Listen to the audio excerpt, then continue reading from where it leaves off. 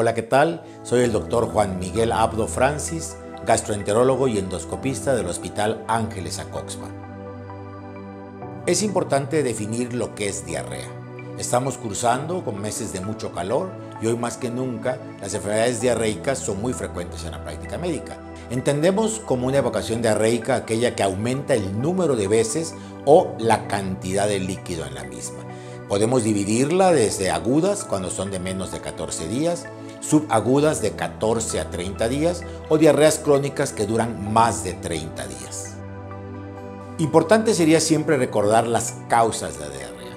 Hay cuatro grandes grupos, las que son secretoras, las que son exudativas, las que tienen que ver con problemas del movimiento, es decir, por motilidad, y las que son por hiperosmolaridad, sobre todo, en este caso, el ejemplo más común es comer de más, una carga excesiva de alimentos, o en los pacientes que no absorben adecuadamente los alimentos por un síndrome precisamente llamado de mala absorción, que les da como consecuencia diarrea generalmente crónica.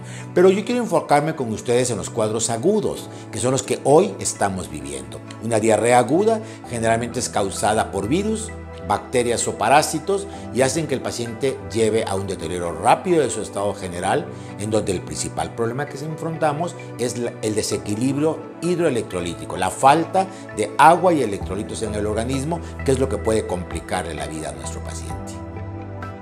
Los síntomas que presenta alguien que cursa con diarrea, bueno, evidentemente el primero es aumento en el número de las evacuaciones o en el volumen de las mismas, pero esto va acompañado de muchas otras cosas, como es deshidratación, cansancio, pérdida de electrolitos que se manifiestan generalmente como sueño, ataque al estado general.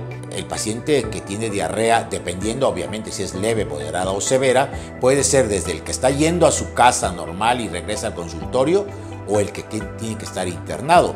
Un paciente con diarrea grave, que es el que se deshidrata, es el que puede incluso llegar a morir. Es importante que los niños son, junto con los adultos mayores, los grupos más vulnerables. Una deshidratación en ellos puede ser muy grave. Entonces, ¿qué van a tener? Piel seca, ausencia de llanto en el caso de los niños, se arruga su piel, se llama signo de lienzo húmedo, tienen eh, por supuesto poca orina, los pacientes están irritables, llorosos, hay que llevarlos al hospital.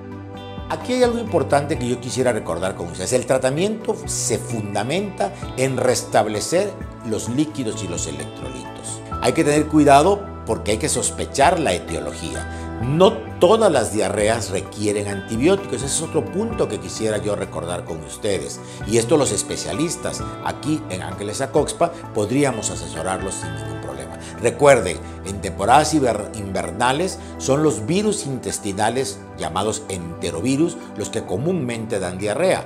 En épocas de verano son las bacterias. De tal manera que no todo es salmonella, no todo es Escherichia coli. Hay muchas causas que no deben de recibir antibióticos. Hay criterios de alarma que el médico detecta y decide en qué momento un paciente debe de ser hospitalizado o sometido a un tratamiento con antibióticos. Mientras tanto, y en lo que usted llega a nuestro hospital o con nuestros médicos del Grupo Ángeles Acoxpa, usted deberá de saber siempre que hay que mantener hidratado perfectamente hidratado a nuestro paciente y en el caso de los niños deberá de seguirse con la alimentación, sobre todo si esta es al seno materno. Es muy importante que nuestra población sepa en qué momento hay que llevar a nuestro paciente al hospital.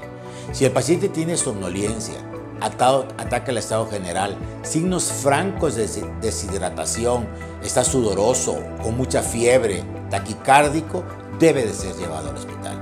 Recuerden, el diagnóstico es sencillo. La mayoría de las veces es un manejo con líquidos y electrolitos, con analgésicos, sin embargo, si hay datos de alarma, muchos de los que acabo de mencionar, tenemos la posibilidad de hacer pruebas específicas, que no se trata de un cultivo. Un cultivo lo hacemos en las épocas crónicas, porque tarda mucho el crecimiento, pero en la etapa aguda usamos en nuestros hospitales del Grupo Ángeles de Health System, tenemos algo que se llama el Film Array, que es una prueba maravillosa en donde en menos de unas cuantas horas podemos saber exactamente qué bacteria, qué virus o qué parásito está afectando a esta persona enferma. De tal manera que esto se determina con una prueba de sangre o una prueba de heces y podemos saber perfectamente en qué momento nos encontramos de la evolución de nuestros pacientes. Lo más importante sería cómo vamos a prevenir que suceda. Número uno, evitemos alimentos contaminados. Esto es comer en lugares expuestos al aire o con posibilidad de verse contaminado. Segundo, evitemos tomar agua que no sea de una procedencia adecuada, es decir, que no sea embotellada, purificada. Número tres, saber que si estamos tomando medicamentos como inmunosupresores, medicamentos para cáncer, todos estos producen un incremento de la posibilidad de que agarramos una diarrea o una infección porque bajan la capa de ácido que protege el estómago. De manera tal entonces, tener diarrea puede no ser grave. Tener diarrea y deshidratarse de manera grave puede ser incluso mortal para nuestro paciente.